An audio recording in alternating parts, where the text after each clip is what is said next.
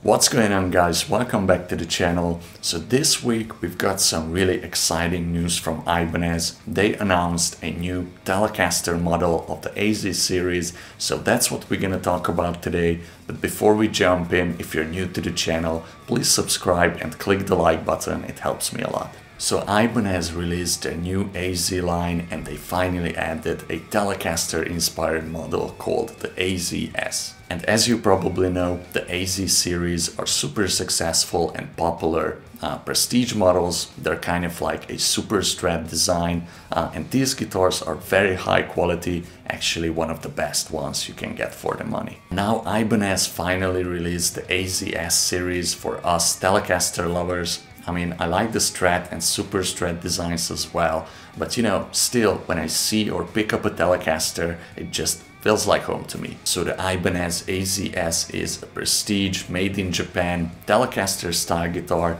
They announced five color variations for now, as well as a modern and a more traditional looking vintage style guitar. The AZ2209 is the more traditional looking Telecaster It comes in two colors, a tri-fade burst and a Prussian metallic blue, which looks absolutely amazing if you ask me.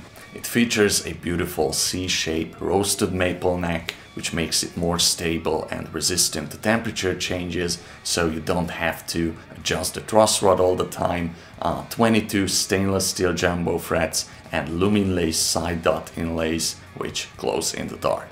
At the bridge we have the steel pickup plate which is necessary according to Ibanez to create the twangy Telecaster tone and the Gotoh vintage looking saddles made of titanium. On this model the control plate and the pickup selector is curved which I personally don't like but if you think about it it's actually an improvement because you can reach the knobs and the pickup selector uh, easier than on a traditional Telecaster.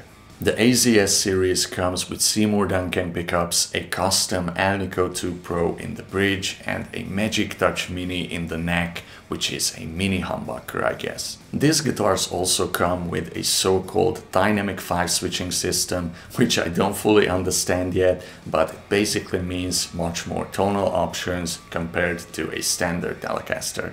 And then we also have the AZ2200, which is a more modern design Telecaster. It comes in black, sunset burst and a royal blue sapphire, which is my absolute favorite.